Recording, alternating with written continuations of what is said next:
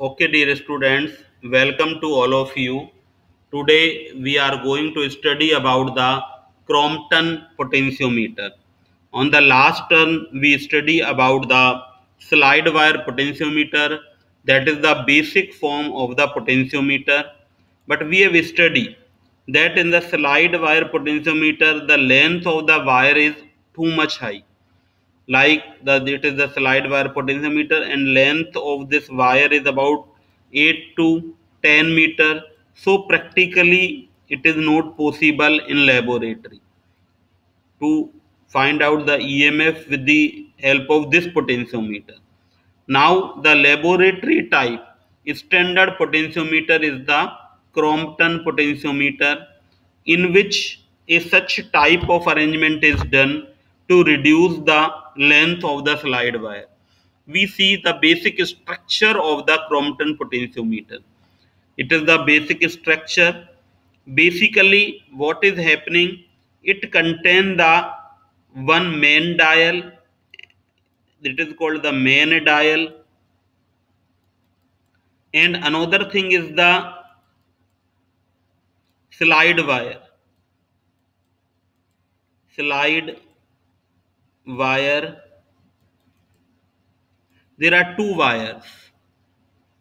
It is the circuit which is used for the working current in the potentiometer crompton potentiometer. The working current depend on the rheostat setting. That is called the variable resistance. The main dial has the 15 step जो हमारा जो main dial है, इसमें हमने पंद्रह step में total इसको divide किया हुआ है। Each step have the resistance of ten ohm so the total resistance of this is will be 150 ohm. That will be the total resistance of main dial. And the resistance of the slide wire will be 0 10 ohm. Is the resistance of the slide wire. Suppose 10 milliampere working current is flowing in the circuit. We adjust the rheostat so the 10 milliampere working current can flow. So the voltage drop across the main dial will be total resistance from the Ohm's law V is equal to IR. Here R is the the voltage drop will be the 150 is the value of the R and I is the 10 milliampere. That is converted into the ampere by dividing 1000 so we can find that is the 1.5 volt. So 1.5 volt is the value of total main dial and it is divided into the 15 step. So one step has the 0.1 volt drop एक जो step होगा हमारा main dial का, उस पर जो हमारा voltage drop होगा that will be the 0.1 volt तो इस तरह से ये जो 15 स्टेप्स होंगे, उन पर हमारा वोल्टेज ड्रॉप 1.5 वोल्ट हो जाएगा। इसी तरह से जो हमारा स्लाइड वायर है, उस पर टोटल वोल्टेज ड्रॉप हमारा इसका रेजिस्टेंस 10 ओम है। करंट अगर 10 मिली एम्पियर का इसमें फ्लो होता है तो इसका जो हमारा टोटल वोल्टेज ड्रॉप होगा that will be the 0.1 volt ये हमारा स्लाइड वायर पर वोल्टेज ड्रॉप हो जाएगा। तो इस तरह से जो इस सर्किट में हमारा टोटल वोल्टेज ड्रॉप होगा that will be the 1.6 volt हम इससे मेजर कर सकते हैं। यहाँ पर हमने अरेंजमेंट लिया हुआ है कि हम इस स्टैंडर्ड सेल और अननोन ईएमएफ दोनों को किस तरह से सर्किट में कनेक्ट करें?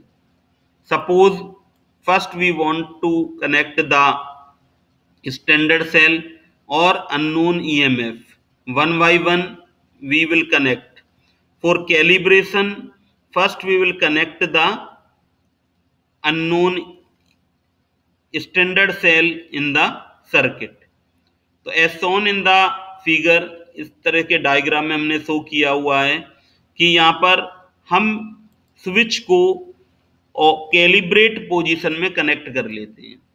इससे हमारा ये double pole double throw switch है।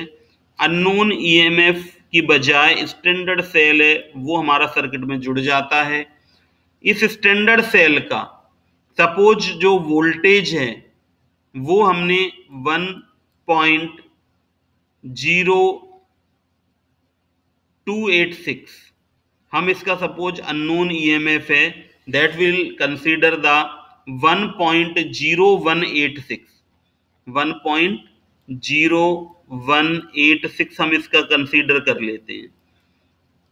अन्नो, जो हमारा स्टैंडर्ड सेल है, उसका वोल्टेज तो now we will set the one volt on this main dial and point zero one eight slide wire it is for the coarse adjustment it is the fine adjustment के लिए हमारा use होता है। तो इस तरह से हम इनको इस तरह से सेट करते हैं यहाँ पर। इतना सेट करने के बाद वर्किंग करंट है that is adjusted so that जो हमारा गैल्वेनोमीटर में डिफ्लेक्शन है, वो ज़ीरो आ जाए। तो ये हमारा एक बार कैलिब्रेट हो गया कि हमने वोल्टेज को इस तरह से सेट कर लिया now it is calibrated position इसके बाद हम अननोन वोल्टेज को कनेक्ट कर देते हैं सर्किट में और उस अननोन वोल्टेज को हम जब तब तक इसको वेरी करते हैं वर्किंग करंट को, जब तक इसमें गैल्वेनोमीटर डिफ्लेक्शन ज़ीरो ना आ जावे। तो उस कंडीशन में ये हमारा अननोन जो ईएमएफ है वो मेजर हो जाता है। यहाँ पर एक प्रोटेक्टिंग रेजिस्टेंस भी दिया हुआ है। ये जब हम इस प्रोटेक्टिंग रेजिस्टेंस को, इसमें हमारे पास क्या अरेंजमेंट दिया हुआ है? They've given the one resistance और that is connected with the switch ये हमारा एक स्विच से कनेक्टेड है और यहाँ पर हमने इसको गैल्वेनोमीटर से कनेक्ट किया हुआ है। तो जब हमारा ये ओपन रहेगा initially when we are doing the balancing it will be open इस तरह से हमारा ओपन रहता है। तो इस कंडीशन में जो हमारा ये प्रोटेक्ट करता है हाई करंट से ना आ जाए सर्किट में गैलोमीटर को डैमेज ना हो जाए once the balance is obtain then it is close इसको हम क्लोज कर देते हैं, जिससे इस 10 किलो ओम रेजिस्टेंस की वैल्यू ज़ीरो ओम हो जाती है और गैल्वेनोमीटर की जो सेंसिटिविटी है दैट इज़ इंक्रीज तो now we will see that how this it is the circuit diagram of the Crompton potentiometer that is the standard laboratory type potentiometer. Now the some steps by which we can measure the unknown potential with the help of this Crompton potentiometer are as follows. In the first step, the combination of dial register and the slide wire is set to the standard cell voltage. Supposing the standard cell की voltage है 1.0186 volt है तो dial resistance 1 volt and slide wire is set to this volt now switch S is thrown to calibrate position जो switch S दिया हुआ है, उसको हम कैलिब्रेट पोजीशन पे चेंज कर लेते हैं। Then and the galvanometer key is tapped while the rheostat is adjusted for zero deflection on the galvanometer or the protective resistance is kept in the circuit in the initial stage to protect the galvanometer from being getting damaged. In the third step, balance or null point is approached. The protective resistance is salted. So increase the sensitivity of the galvanometer Final adjustment are made for zero deflection with the help of the rheostat. This complete the standardization process for the potentiometer. तो एक बार हमारा standardisation हो गया। इसके बाद हम क्या करते हैं? Unknown after completion of the standardization switch S is thrown to the operate position and thereby connecting the unknown EMF into the potentiometer circuit अब हम पोटेंशियोमीटर सर्किट में अननोन ईएमएफ कनेक्ट कर लेते हैं। जैसा कि सर्किट में दिखाया गया है, इसको हम ऑपरेट पोजीशन में करेंगे, जिससे ये हमारा सर्किट में कनेक्ट हो जाएगा। अब हम क्या करते हैं? Then as the balance is approach the protective resistance is shorted and final adjustment are made to obtain true balance final adjustment हम देखते हैं कि हमारा ट्रू बैलेंस जब हमारा आ जाता है उस पर क्या फाइनल एडजस्टमेंट आ रहा है? कोर्स एंड डायल का मेन डायल का और स्लाइड वायर का। The value of unknown EMF is read off directly from the setting of the dials and slide wire slide wire और डायल पर को जब मूव करने से, जो हमारा डिफ्लेक्शन जब इसमें ज़ीरो आ जाता है, उन सेटिंग्स को हम रीड कर लेते हैं।